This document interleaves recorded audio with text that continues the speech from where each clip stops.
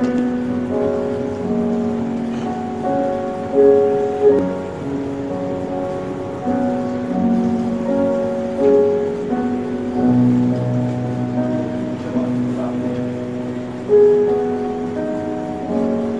children, Debbie Ann, Dawn, and Vallis Jr., and all of you gathered here in support. My name is Karsine Greenwich, President of the Alleyne School Alumni Association of Barbados. First, let me apologize for the hoarseness of my voice. It isn't usually like this. Nevertheless, it was important for me to be here regardless. By now, you should have realized the senior Vallis Jemmott attended the Alleyne School long before my time.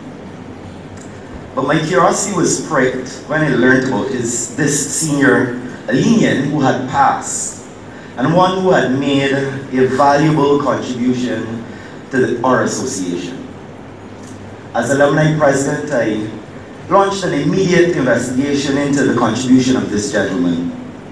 I am happy to report my findings to indicate that Fritz Vallis Jemmott was indeed an Alleynian who lived the school motto of Aliis non sibi, which in Latin is the form for for others, not self.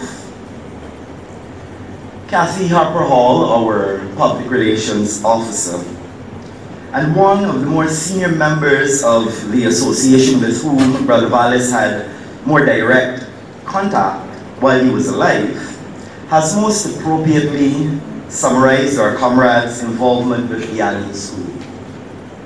I now present our alumni tribute as prepared by Ms. Harper Hall in collaboration with other members of our school community.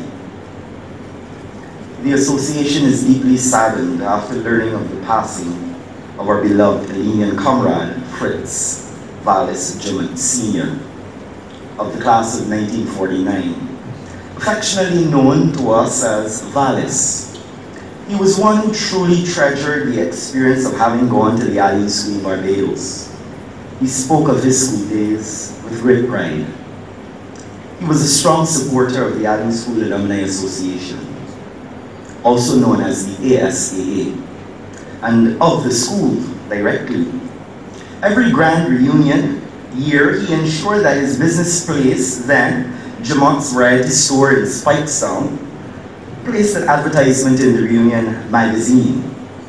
When he closed the business, he ensured that his son, who was manager of Notes of Praise, also in Speightstown, continued the tradition of placing the advertisement in the magazine.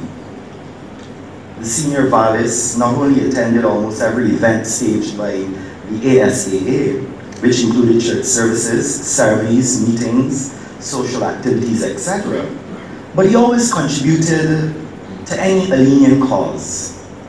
Before he became ill, he kept abreast with activities at the school and donated prizes for speech day annually. As the saying goes, Vallis was an Alleynian to the bone. He would always reminisce about his days at school with persons like the late MacDonald Smith and Sir Conrad Hunt, Oriel Lynch, and Randall Sandyford. And he always talked about the girls, especially Grace Sargent, Mary Rock, and the late Gloria Stevenson, who were his classmates. Vallis Sr. shall be fondly remembered by our alumni community for his contribution, for his friendship. Our alumni leadership team, on behalf of the wider Alleyne School community, the principal, staff, and students, extend its emotional support to the Jemmott family and friends during this time of loss. We will forever remember yet another Alleynian who lived the motto, Aliis non sibi, for others, not self. Ladies and gentlemen, I thank you.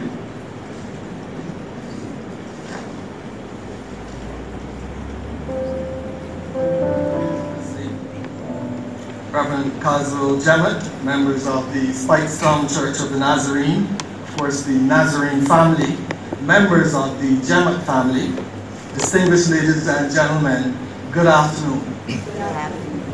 I'm honored this afternoon as the son-in-law of Vallis Jemmott Sr. to be offering this appreciation. The North will well remember Vallis Jemmott Sr. as the shopkeeper of the famous Jemmott's Variety Store, a provider to many in times of great need and a quiet advisor. Of course, the aforementioned attributes pale in comparison to his other roles as an attentive brother, a loving husband, a committed father, a doting grandfather, and of course, a loyal friend. Daddy Jem, the middle child and first boy of Eileen and Clarence Jemmott, was raised along with his brother Alvin and sisters Dotha, more commonly called Jean, Joyce, all deceased, and Marjorie, who's here with us. He grew up in the quaint community of Indian Ground, where his parents owned a small shop opposite the Christian Mission Church. That shop, along with raising chickens and pigs, helped to provide them with the privilege of raising their children and helping to sustain a community. One could safely say that the framing of his legacy and the origins of his entrepreneurial spirit were born right there. An early education at Borden's Boys School and a secondary one at the Alleyne School afforded him the educational wherewithal to fulfill his career path. His life, along with his brother and sisters, centered largely on his Christian journey and working in his parents' shop. That life and work mirrored his parents somewhat, and in 1964, the opportunity arose which saw the opening of Jemmott's Variety Store in Church Street, Speightstown. That prospect would allow him to serve his community and be an example for those who wanted to venture into the realm of business. In 1966, he married Eulene and proceeded on a path of love that would last 50 years and become the proud parents of Debbie Ann, Dawn, and Vallis Jr. With Eulene by his side, the store began selling items such as confectionery, hair products, and canned goods. Over the years, the variety of items and the store's inventory would increase and include dry goods, toys, stationery, and household items. He was a prudent businessman who didn't spend a bad cent. Imagine the vision that he had to have to open a business at that time, and on top of that, sustain it for 35 years. Some customers who patronized the store trusted their items, but they trusted him too. While the money owed to him could probably open another two general variety stores, Daddy didn't concern himself too much with repayment, but more about the need to give. He understood that people needed help in their daily lives and would never turn back a customer if they needed it. His children recall that the store would remain open and sometimes up until 8 p.m. on Christmas Eve, but never on a Sunday. He always believed that Sunday should remain the Lord's day the Speightstown Church of the Nazarene would become the family's place of worship, where he would serve on the church's board as treasurer for close to 40 years. That service would also include assistance with the maintenance of the church and its operations. He would also serve on the church's properties board for the Barbados district for nine continuous years. He took particular interest in ministering to the men in the church and offering advice on being men of God and raising their families in the fear of the Lord. He lived his life as what it meant to be a good husband, a provider for his children, and being his brother's keeper. As a member of the Gideons International, an association of Christian business and professional men and their wives, he and mommy were dedicated to telling people about Jesus through sharing personally and by supplying Bibles and New Testaments. Both took their marriage seriously and became part of Marriage Encounter, a facility for married couples who value their relationship and desire a richer, fuller life together. Even though they had been married for a long time, they understood the importance of sustaining that union. They were also involved in the Mount of Praise Marriage Ministry, where they traveled to various Caribbean islands on retreats for many years. As a team, They encourage other married couples to put God first in their marriage and to respect the sanctity of marriage. As a father, he firmly believed that the man was the head of his household and though quiet in nature, maintained strict but guiding principles.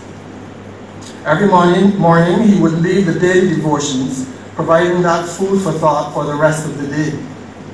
Now want to verbalize his thoughts, his actions, and advice told the story of the enormity of his life. are in uproar. Kingdoms fall. He lifts his voice. The earth melts. The Lord Almighty is with us. The God of Jacob is our fortress. Come and see what the Lord has done. The desolations he has brought on the earth. He makes war cease to the ends of the earth. He breaks the bow and shatters the spear. He burns the shields with fire. He says, Be still and know that I am God. I will be exalted among the nations. I will be exalted in the earth. The Lord Almighty is with us. The God of Jacob is our fortress. And here ends the scripture reading. They did something seemingly crazy to others, but um, he really was a quiet man who sometimes had me a little bit scared because I wasn't sure if he was thinking it was mad for real. Yeah. But I know he is with mommy. I know there's a big grin on both of their faces and they're just looking down from heaven saying, Ah, that crazy girl again. hmm But love them.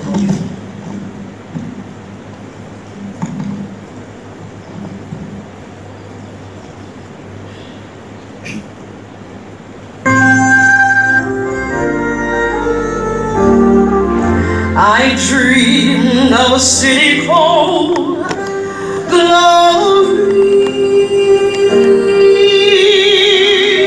so bright and so fair. And as I entered the gates of that city, the angels